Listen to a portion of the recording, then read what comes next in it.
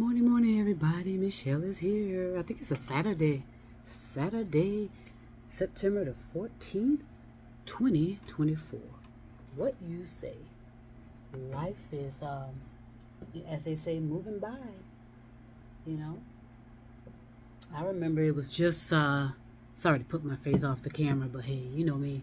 I'm un- unorthodox. I do what I, I do what I can to make things work for me. Um, but time goes by really fast, and that's why I say it's not really about time. You you know if you if you're paying attention, things are not really about time. They're more so about timing. You know the timing of moments and and why things you know turn out the way they do. So anyway, I was uh out and about running around because I'm gonna be busy for the next couple of weeks, I think. Yeah, next couple of weeks, I got things to do, places to go, people to see, um, more so things to do, more so things to do, and uh, you know, what, whatever. That's that's my life right now for the next for a while. So, but man, let me tell you, I when I was out and running around and and handling my business and and doing the things I need to do I came up, I, I, went into this, um, this service place and, you know, to get some service done. And I can remember walking around in the place because I had to walk in that place to get to, to another place. And um, I saw these um, older women, older women uh, that were sitting on this. Is this is say on the left of me, you know, it was a, it was a, you know, at least 10 of them, 10 older women, and they were sitting on the left side of me, and, you know, sitting on the left side as I was walking in. And I can remember making eye contact or just looking over, and all of a sudden, something just came over me, you know, when I looked over there. And when I walked out of there, you know, so, what ca- what came up inside of me is that you know, peace, peace, peace. I felt some kind of level of peace when I looked over there at those women. It was like they were in peace, you know. They were they were just sitting there, taking care of some business, you know, getting their services met or getting their needs met via services and they were sitting there and and and I and I and I and I felt that's you know because usually you know I I feel I felt their their I felt peace you know looking at those women and paying attention to those women. And it brought me back to what I wanted to say today. I told you sometimes you got to keep repeating yourself over and over and over again. You have to keep repeating and and sharing things with people even though most people don't they they claim they they're not listening, but again, you know, your consciousness, your subconscious, you know, they're the ones that paying attention. Whether you say that you're not paying attention or not. because like I said, you can't fool your consciousness. Your consciousness has a knowing, has a knowing as to what you are supposed to do. You know, what your accountabilities and responsibilities are. So you can't fool your consciousness, no matter how you how you attempt to do it with messing around with energy, messing messing around with magic, messing around with sorcery. All you're doing is harming yourself in the end. But I'll let others figure that out because I think some people are figuring it out, and I, and I'm so thankful for that. That's that's a uh, thankfulness that I that I can sense and receive. And it's not like they were they, you know a lot of people we a lot of times we're misled about how we're supposed to act. That's obvious. We're misled. We're, we're, we're fed we're fed these these uh, these fantasies illusions delusions which a lot of us are realizing is nothing more nothing less than smoke and mirrors.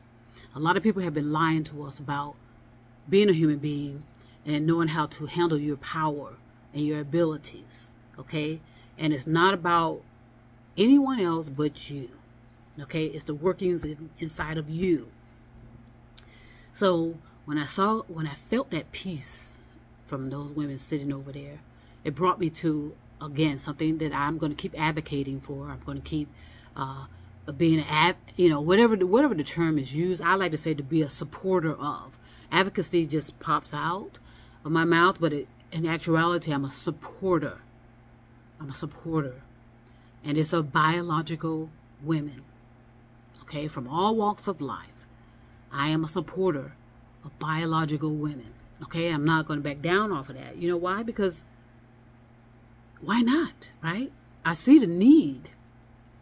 And for a while, for so long, I used to look in the eyes of women, and I always felt, always felt a, a sense of fear, a, a sense of, you know, you know, uh, anxiety, being very nervous, and and you know, and a lot of, and you know, when I was a first responder, I used to get this all the time. They said, "Oh my gosh, thank goodness it's you. I feel so much safer with you. I feel so much safer with you.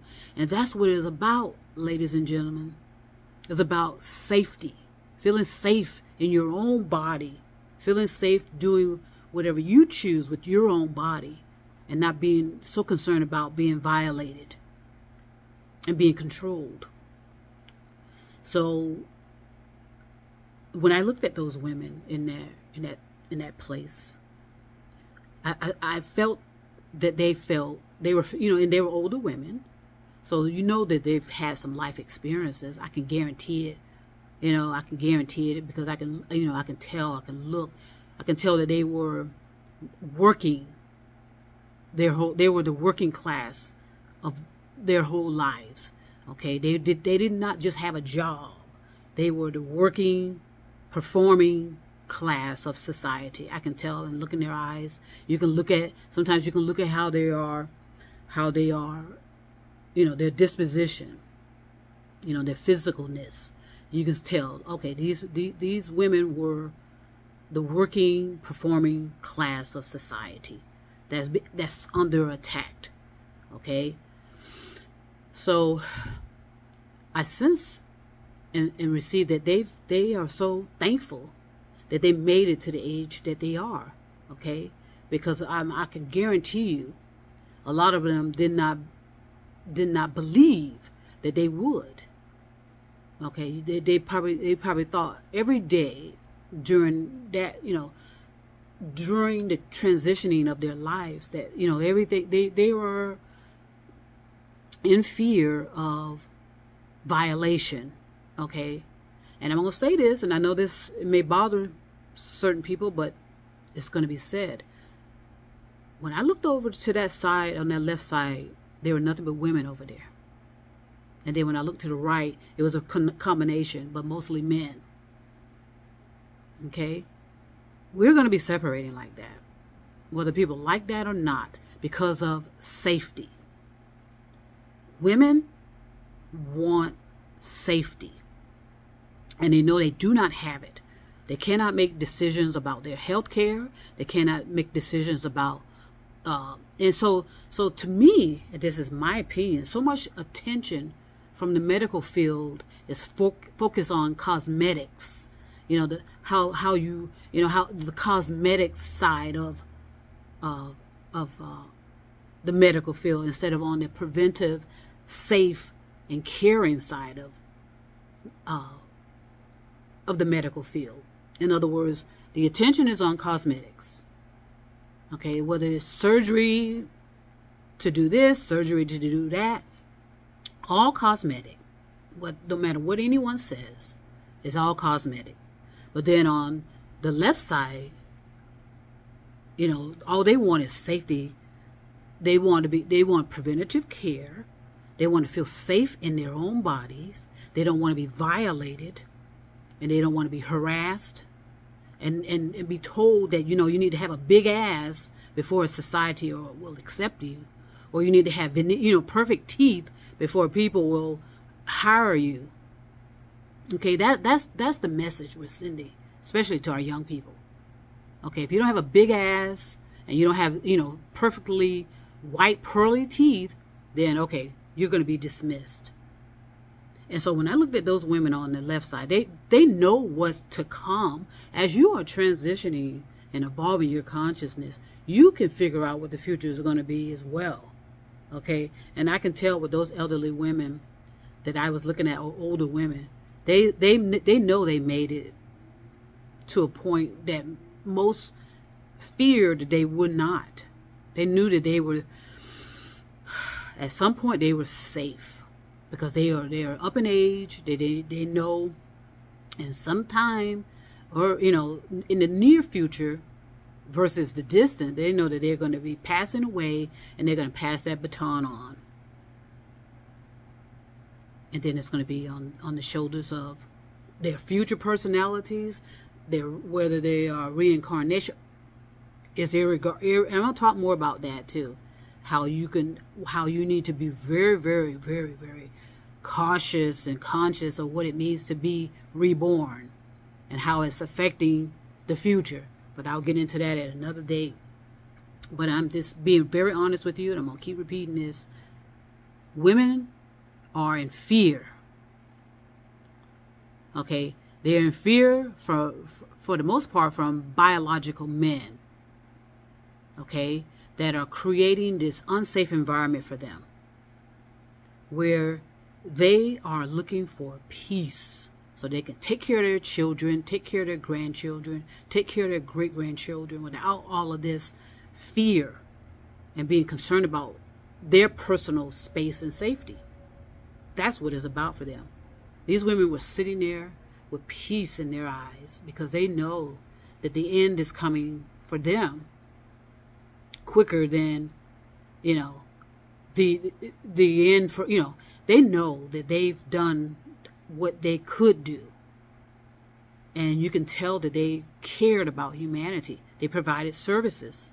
You know, they could have been seamstresses they could have been cooks, they could have been caregivers, they could have been all those type of services that are often overlooked, providing love, universal love, for people for children that do not belong to them possibly. You know they could have been teachers you know. Nurses.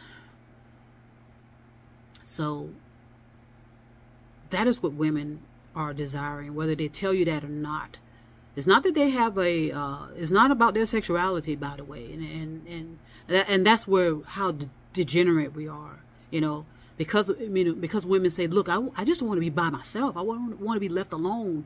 Okay, automatically it's oh they hate men or or they this or that and the other. It is downright dangerous for a lot of women to exist in the company of certain type of men. And let's just be very honest about that. Okay?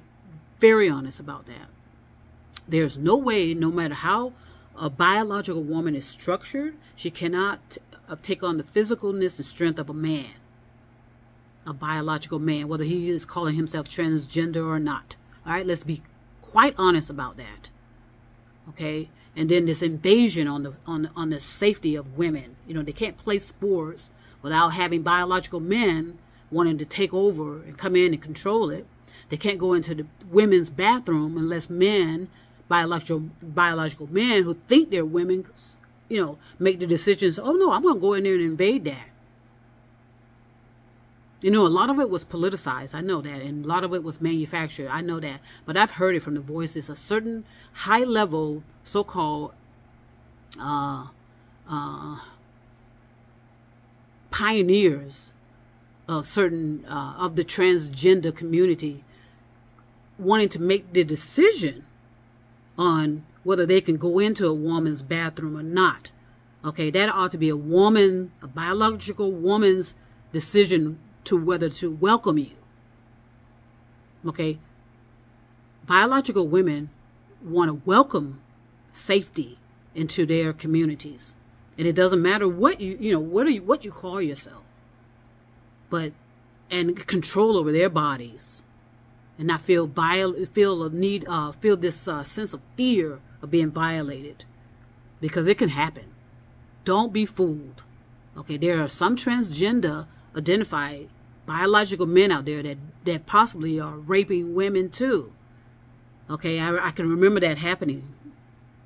Okay uh, you know so just do your research and understand that protecting biological women ought to be all of our responsibilities.